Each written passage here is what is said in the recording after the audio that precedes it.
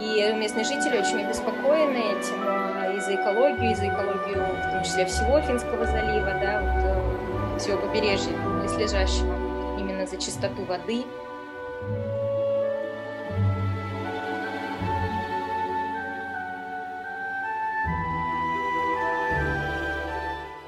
Нет, никогда не занималась, и, по сути, это был не проект, это просто вот крик души.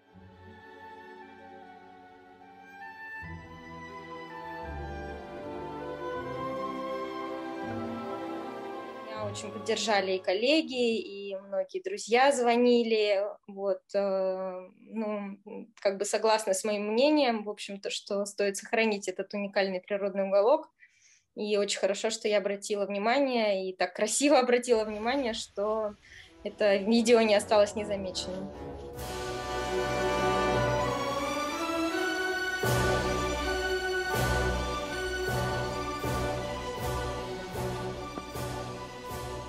Очень надеемся, что все-таки перевесит в сторону природы, красоты и гармонии.